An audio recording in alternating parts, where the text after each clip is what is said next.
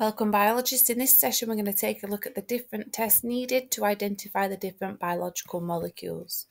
So to start off with we're going to have a look at the Biuret test for proteins. Now the Biuret solution is blue and when you add it to a protein solution it turns a lilac colour. The next test we need to be aware of is the Benedict's test for reducing sugars. Now, a reducing sugar is a sugar that acts as a reducing agent. And there are some examples here in the box on the left hand side, which, yes, you do need to be aware of.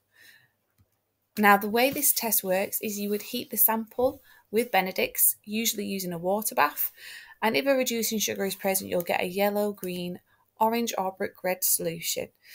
And the colour will depend upon the concentration of reducing sugar present. So, for example, if there is no reducing sugar present, the solution will stay blue, which is the colour of the Benedict solution. If I have a low concentration of reducing sugar, I'll get a greeny yellow solution. If I've got a bit of moderate concentration, I'll get an orange precipitate. And then if I have a strong concentration or a large concentration, I would get a brick red precipitate. Now, a non-reducing sugar, the only example you need to be aware of here is sucrose. I have seen questions asked on this in multiple choice questions, short answer questions, and also long six markers.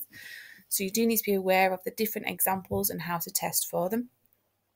Now, what you'd do here is you'd heat the sample with Benedict's as normal in a reducing sugars experiment, but you would get no change.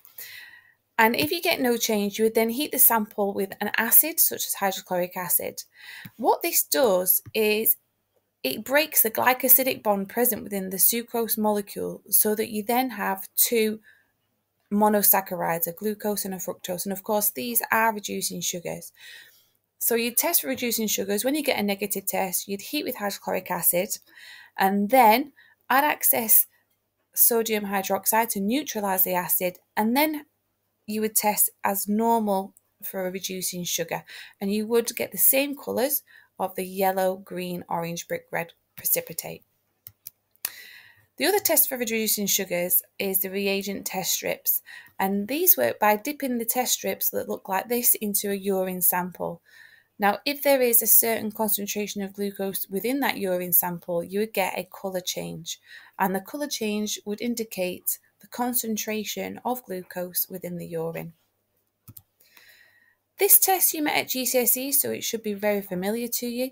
Iodine is like a brownie colour, and if starch is present, we'll get a blue-black solution. The last test we need to be aware of is the emulsion test, and for this we add a few drops of ethanol to our sample, we shake it and then pour it over water. And if lipids, if lipids are present, you would get a white emulsion, as you can see in this image here. So those are all the tests you need to be aware of.